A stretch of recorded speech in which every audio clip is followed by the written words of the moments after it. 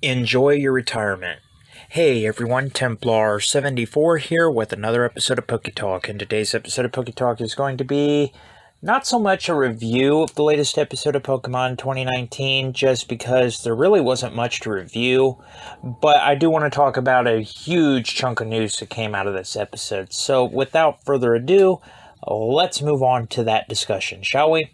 So, like I said, the episode really, there wasn't a whole lot to review. It was just catching us up on the Masters 8 tournament, and they really did have to do a recap episode because we've had a two episode break for no undisclosed reason at all. Uh, I'm still bitter about that, and I'm still going to gripe about that the rest of the series, just a heads up and a spoiler. But anyway, that being said, we get a we get a catch up episode for this. We get reintroduced to what's going on, just exactly what's going down, and we're getting ready to go into the semifinals. And we know that it's going to be Diantha versus Leon. so long, Diantha. And Ash versus Cynthia. Now, let's be honest. We already know the outcomes of these just because plot armor dictates what is going to happen. But during the preview, we got some interesting tidbit information, and that is Ash versus Cynthia. Ash is going to be struggling big time in this battle, at least to start. So maybe plot armor may not be as invulnerable as we think. I think it's pretty obvious that Ash is going to win, but it's showing that he's going to struggle, which shows that they're putting a lot of effort into this battle, which I'm really hyped about and really enjoy. Cynthia is one of my favorite champions of all time, and therein lies the sad news. Basically, Cynthia tells Diantha that once this tournament is over, she's retiring from battling.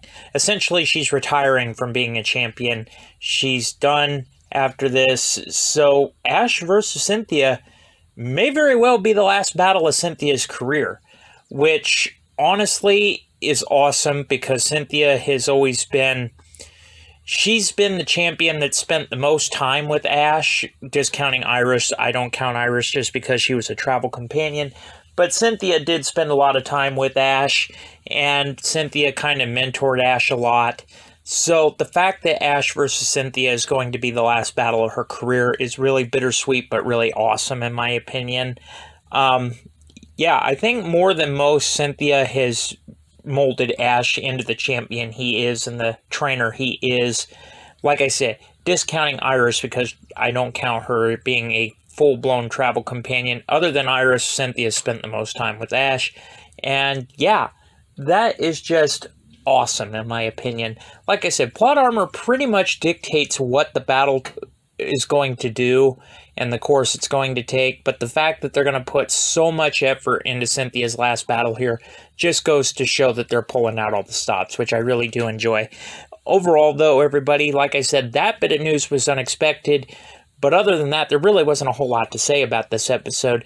Yeah, uh, the next episodes are going to be hype and they're going to be nail biters. But anyway, those are just my thoughts. And as always, I want to hear yours. So in the comments section down below, let me know what your guys' thoughts are. Just let me know your thoughts about everything uh, revolving this in the comments section down below because as always I enjoy hearing from you.